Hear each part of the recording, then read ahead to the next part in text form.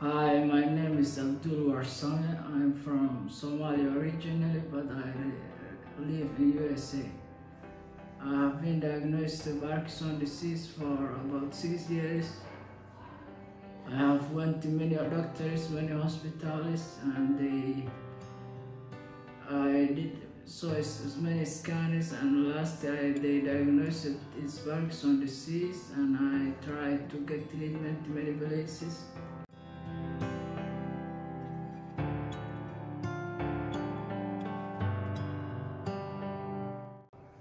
Been in Thailand, Bangkok, India, everywhere.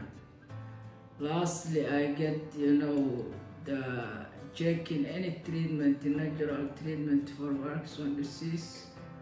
As you know, Parkinson's disease doesn't have permanent cure in the world. So I got from internet, YouTube, Dr. Pradeep Kumar's hospital videos they put on some people talking about how they before and how they get finally I that time I think oh maybe joking but after that I have decided to come here and I have been here when I am coming initially I was like on bedridden you know I cannot get up on the bed I cannot move I cannot raise up I cannot even eat in my hand. Right now I have been here about one month and I get myself back, everything is nice.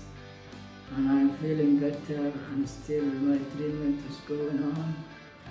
But I believe this is the best place if you are suffering in Parkinson's disease to come here. Dr. Kumar is here, it's good environment in Puttur, which city is from in, in India and uh,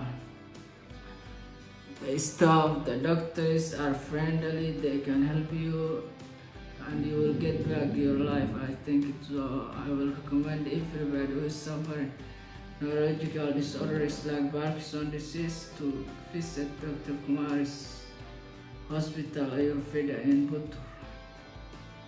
Thank you very much.